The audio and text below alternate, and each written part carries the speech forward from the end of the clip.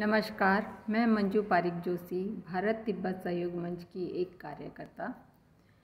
ये आज मैं कहना चाहती हूँ कि विश्व की छत कहे जाने वाले तिब्बत, जो कि 1959 से पहले एक स्वतंत्र राष्ट्र के रूप में था, जिस पर धूर्त और विस्तारवाद चीन ने अपनी सेना के द्वारा बलपूर्वक लाखों लाख तिब्बतियों की हत्याएँ करवा दी। उस शांति प्रिय देश पर अपना अवैध कब्जा किया, जिसकी हम घोर निंदा करते हैं। इसके साथ साथ चीन ने अक्साई चीन समेत भारत के बहुत बड़े हिस्से पर अपना अवैध कब्जा किया हुआ है। मैं समस्त भारतवासियों से अपील करती हूँ, इस विस्तारवाद चीन का हर मोर्चे पर आर्थिक रूप से बहिष्कार करें।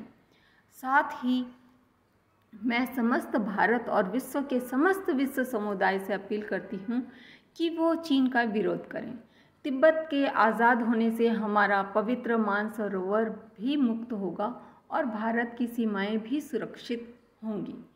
तिब्बतियों को वापस अपना घर मिल जाएगा। जय हिंद, जय भारत, जय तिब्बत।